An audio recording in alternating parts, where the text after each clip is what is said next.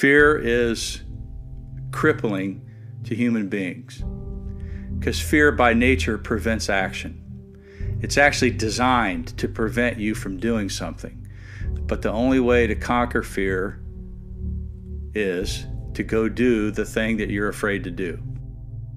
It's easy to do something for a short amount of time. It's a little harder to do that thing that was hard a longer period of time. And it's extremely difficult for the human being to do something for a day. One day. If you can conquer one day, what becomes possible in your life is you will have learned to push a self imposed barrier. The self imposed barrier is time. So the 24 hours is for you to push, and everybody that's done it, to push themselves beyond their own limitations for 24 hours.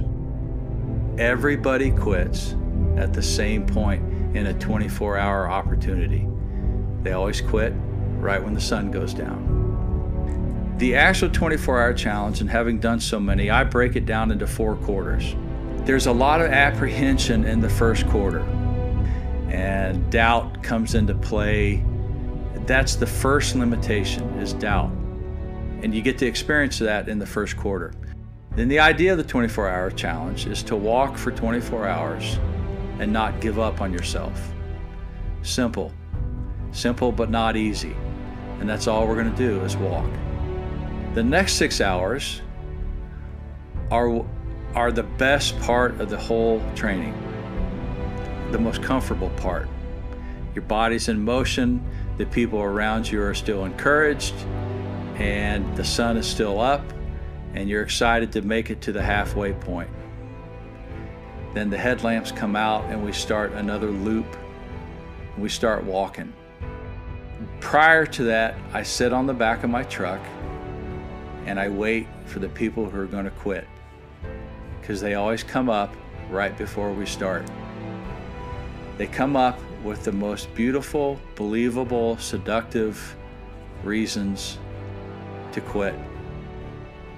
I've just known as a SEAL, you cannot convince somebody who is already resolved to not quit. The whole 24 hour challenge is to get people to the final six hours. Because what happens in the final six hours is brilliant. What I say about the final six hours is this is you. All your weaknesses are going to come up. Who you are as a human being is going to come up. Every pain in your body is going to come up. And we're still just walking. But I want you to experience them the body doesn't want you to go on anymore because it's in pain. The last two hours, you're stiff, your back hurts, your eyes are swollen, your fingers are swollen, your feet hurt, taking a step is a bear, and all of a sudden, the only thing that matters is the most simple thing in your life is just do what you said you're going to do. That is the most important thing to learn in life put your foot in front of the other foot. Who I am is somebody who can honor my word for 24 hours.